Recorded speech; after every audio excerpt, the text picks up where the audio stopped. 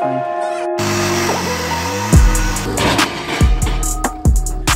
have peed a little bit. This marketplace fine. All right, guys, we're back. Uh, in this video, we're gonna be heading to the Rockabilly Ruckus in Ohio. Um, it's a spectacular show. If you've never been, I recommend looking it up. It's at the Trumbull County Fairgrounds in Cortland, Ohio, I want to say. Um, but it's a three day show Friday at noon, um, Saturday, and Sunday. But it is a jam packed full of events. It's a good time.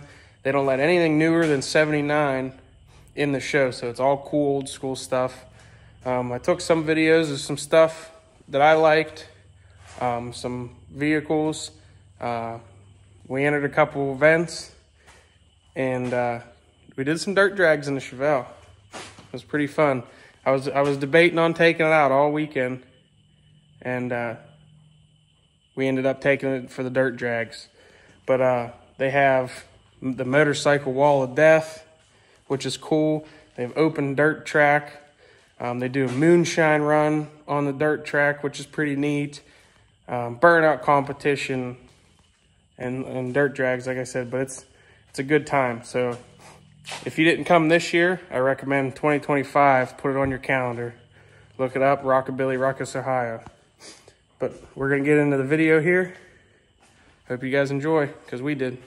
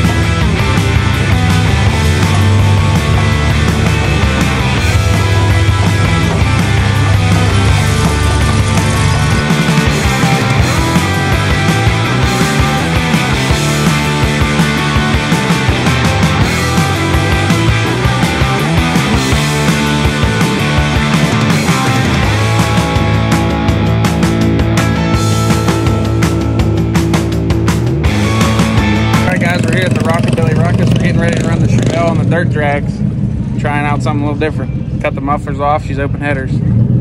Got RJ running the Coyote swap forward. Got her weighted down. You gotta run that drag. Hey, do you want to do the dirt track with me? Can you sit on the right rear tire?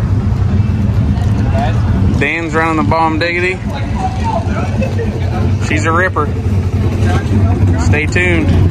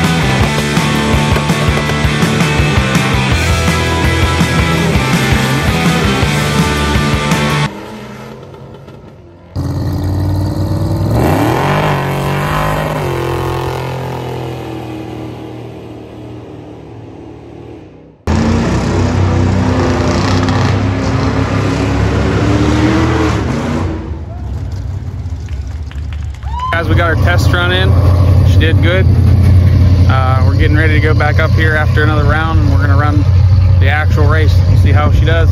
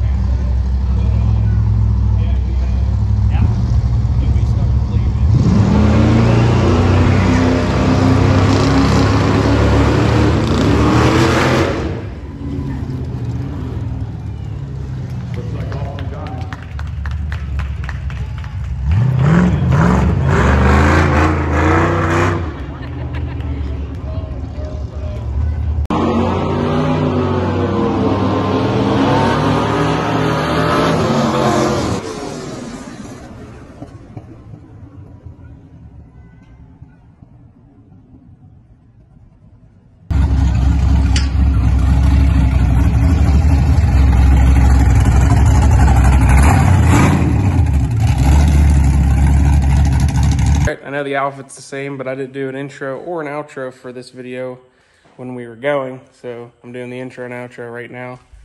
Um, but hope you guys enjoyed this video. Uh, like I said, it's a it's a really fun time. Um, but I just want to say thanks again to the Rust the Rods crew for all the hospitality and the friendship we made with those guys and their friends. Um, it's a super good time hanging out with them there. And uh, also Tom for bringing the old Diamond T out and hanging out with us all weekend. And all the other people that I've met there and everybody. It's just like a big family hangout. It's, it's a fun time. So, but I hope you guys enjoyed. Don't forget to like and subscribe. Oh, see you later.